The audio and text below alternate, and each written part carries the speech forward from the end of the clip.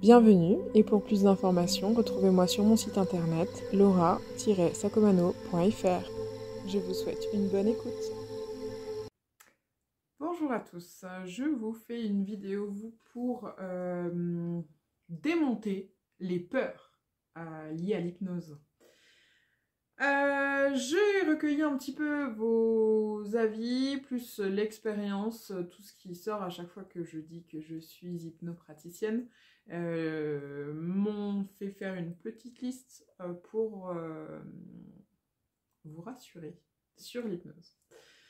Alors, ce qu'on entend souvent, c'est que c'est dangereux. Et eh bien, c'est souvent parce qu'on ne connaît pas la technique ou le praticien. Il n'y a rien de dangereux dans l'hypnose en tant qu'hypnopraticien, on va émettre des suggestions. Vous les acceptez ou pas. Si elles ne sont pas dans votre, système de valeurs, dans, votre, dans vos mœurs, vous n'accepterez pas la suggestion. Si je vous dis de vous jeter d'un pont, si vous n'êtes pas suicidaire, vous ne vous jetez pas d'un pont. Je ne dis pas ça. Mais voilà, pour vous donner un exemple. Deuxième point, souvent, non, moi je ne fais pas d'hypnose, je ne suis pas hypnotisable. Ok, tout le monde l'est. C'est juste une question de temps et de faculté à lâcher prise et à autoriser, à s'autoriser cet état en fait. Euh, souvent, le je ne suis pas hypnotisable cache d'autres choses. Euh, ça, c'est en entretien individuel euh, qu'on peut, peut lever ses peurs, enfin ses peurs, ses croyances sur le fait qu'on n'est pas hypnotisable. La peur de rester coincé, ça c'est quelque chose qui revient souvent, vous ne pouvez pas rester coincé. Au pire, vous vous endormez.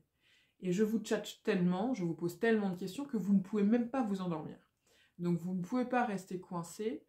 Vraiment dans le pire des cas, euh, si c'est parce que vous, écoutez un audio ou quelque chose, au pire vous vous endormez après et vous finissez par vous réveiller naturellement. Il n'y a pas de, c'est un état naturel.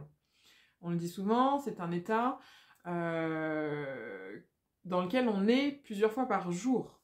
Euh, vous êtes en train de conduire, euh, il y a un morceau de route qui vous revient pas, vous savez pas ce que vous avez fait pendant ce morceau de route, c'est parfaitement normal. C'est parce que vous étiez dans un état de conscience modifié, en expansion de conscience, un état modifié, oui, un état modifié de conscience, où vous avez l'impression de ne pas vous souvenir de ce qui s'est passé, mais vous vous souvenez très bien de ce qui s'est passé. S'il y avait eu un couac ou quoi que ce soit, vous auriez eu les réflexes qu'il fallait pour euh, éviter. Euh, donc euh, vous ne pouvez pas rester coincé parce que c'est un état naturel. Quand vous lisez, vous êtes absorbé par une lecture. Quand vous scrollez sur votre téléphone, ça c'est un exemple parlant pour tout le monde. Euh, qu'il y a quelqu'un qui fait bla bla bla, puis vous, vous êtes sur votre téléphone comme ça en train de faire votre truc, euh, vous êtes en état euh, modifié de conscience. C'est un état parfaitement naturel. je vais me faire manipuler, qu'on me fasse faire ce que je ne veux pas.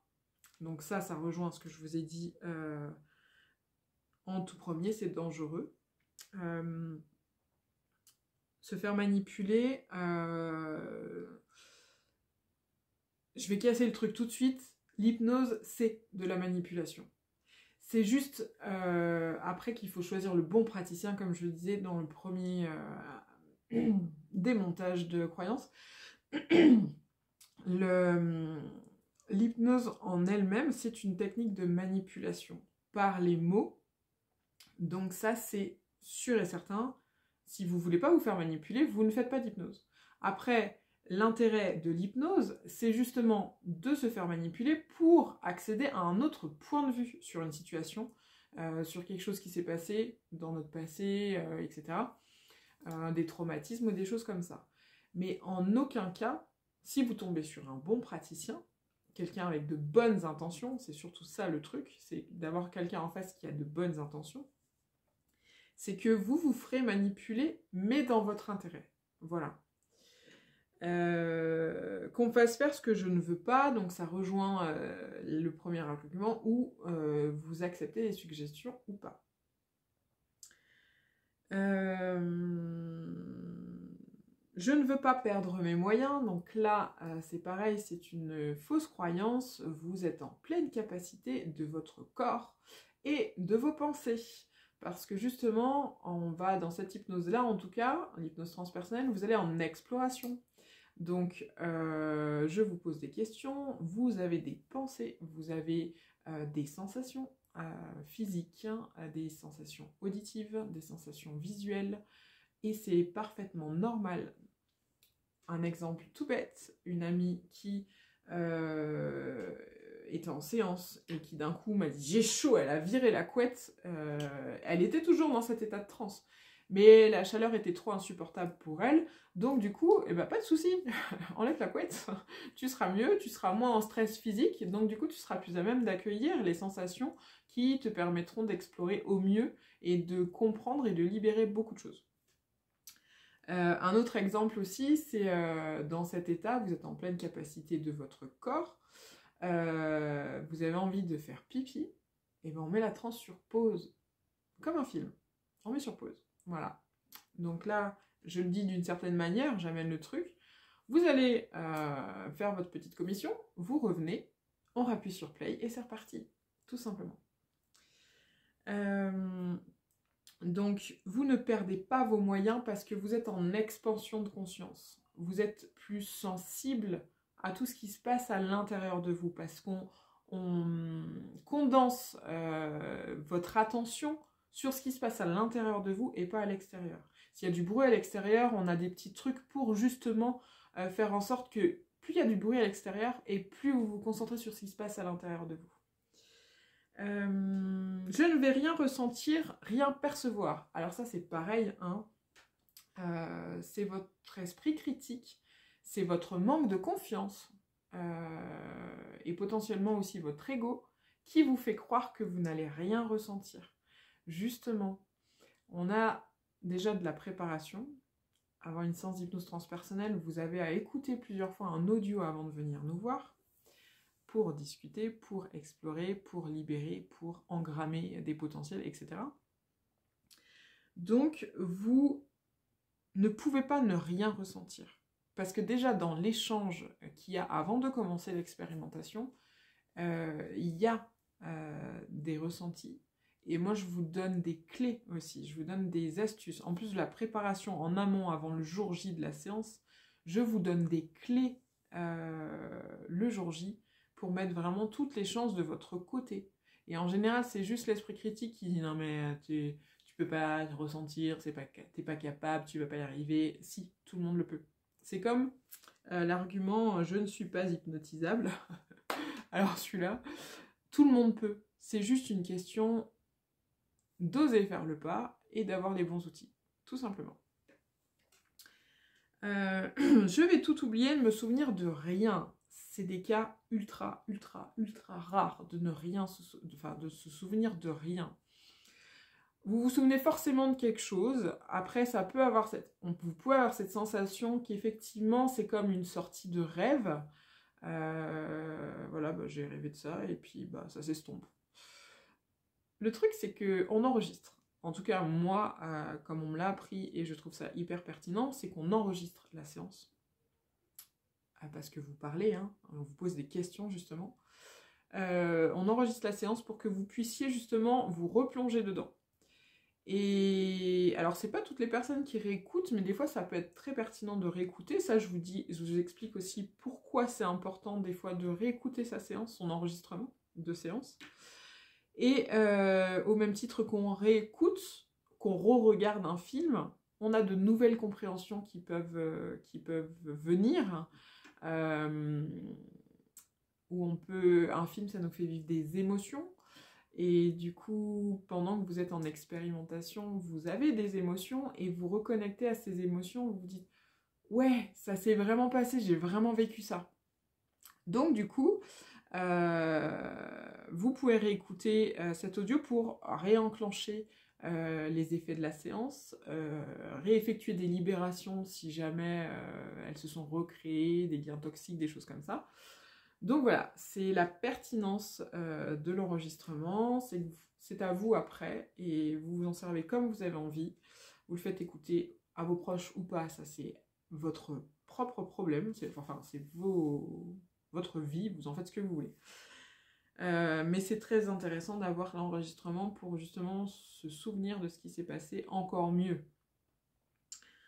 Euh, donc j'ai peur de m'endormir. Alors ça, j'en ai déjà parlé. Vous ne pouvez pas vous endormir parce que je vous pose plein de questions. Et si jamais vous vous endormez, je saurai vous réveiller. Euh, j'ai peur que ça ne fonctionne pas.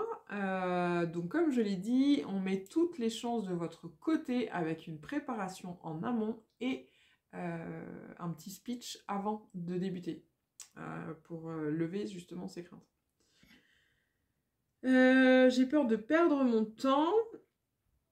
Donc elle va avec mon temps et mon argent c'est des séances qui sont à, donc comme je l'ai dit, euh, enfin comme vous le trouvez l'information sur euh, mon site, sur euh, mes publications Instagram, enfin partout, une séance c'est 220 euros, une séance, enfin une séance, un accompagnement d'hypnose transpersonnelle parce que ce n'est pas une séance où il en faut plusieurs pour atteindre un objectif, non, c'est un accompagnement qui dure entre 3 et 4 heures, donc c'est du temps, mon temps, votre temps, donc ça justifie aussi le travail que j'ai en, amont et que je fais aussi après de vous envoyer euh, l'audio et de rester disponible si vous avez des questions.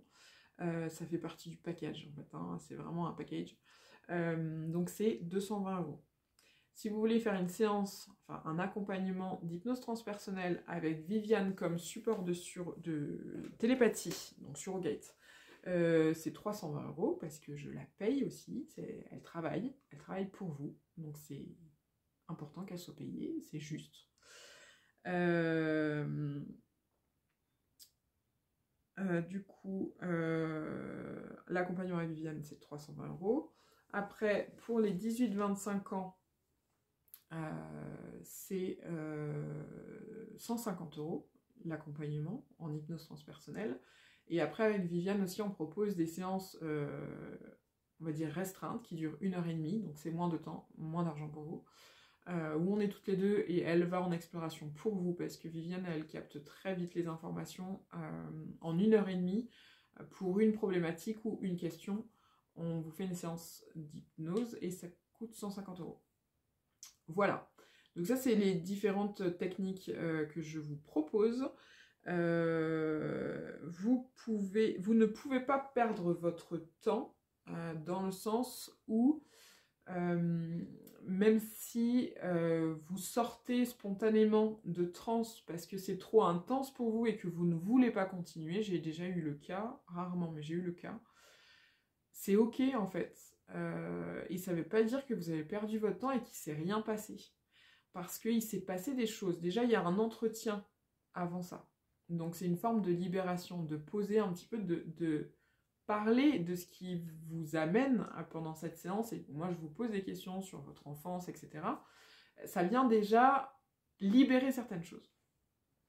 Euh, ensuite, il y a ce temps aussi, donc on appelle ça l'induction, où vous allez en transe. Donc ça prend plus ou moins de temps, on est entre, on va dire, euh, une moyenne 10 et 20 minutes, ouais, 10-20 minutes, pour rentrer dans cet état. Donc c'est déjà 10-20 minutes, voire plus, hein. il y a des personnes, c'est plus, ça monte à 30 minutes, où vous êtes là et vous entendez ce que je vous suggère, vu que c'est des suggestions en hypnose, pour euh, déjà vous détendre, vous connecter à vous-même. Donc déjà, on ouvre certaines portes dans le sens où on vous permet, par cette induction, de vous reconnecter à vous, d'avoir du temps pour vous.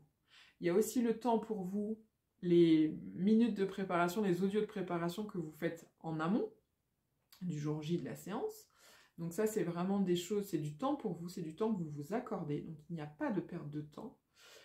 Euh, et du coup, même si vous sortez donc spontanément et que la séance est écourtée, il y a quand même eu des libérations. Parce que je n'ai jamais eu le cas de personnes qui viennent et qui ne vivent absolument rien. Il y a forcément quelque chose qui se vit. Donc des libérations et des compréhensions, des reconnexions aussi. Et des fois, ça fait déjà beaucoup de choses, beaucoup de travail. Donc c'est pour ça que ça peut être intense pour certaines personnes. Et là aussi, peur que ce soit trop, que ce soit trop intense. J'ai eu cette, euh, cette euh, appréhension pour l'hypnose transpersonnelle. votre conscience supérieure drive la séance. Avant, pendant, après. Elle drive votre vie en fait, hein, c'est clairement ça. Donc, elle vous montrera, elle vous fera sentir que ce que vous êtes capable de percevoir. Elle ne va pas vous retraumatiser. Si vous venez pour des traumatismes, euh, des choses assez lourdes comme des viols ou des choses comme ça, elle ne va pas vous faire revivre le viol. On va aller voir tout l'émotionnel qui est lié à ça, le moment juste avant, le moment juste après, pas le moment traumatisant. Il n'y a aucun intérêt à revivre un, moment traumatisant, si ce n'est retraumatiser, et c'est pas dans mes pratiques. Après, les autres praticiens, je ne sais pas. Ça a coupé.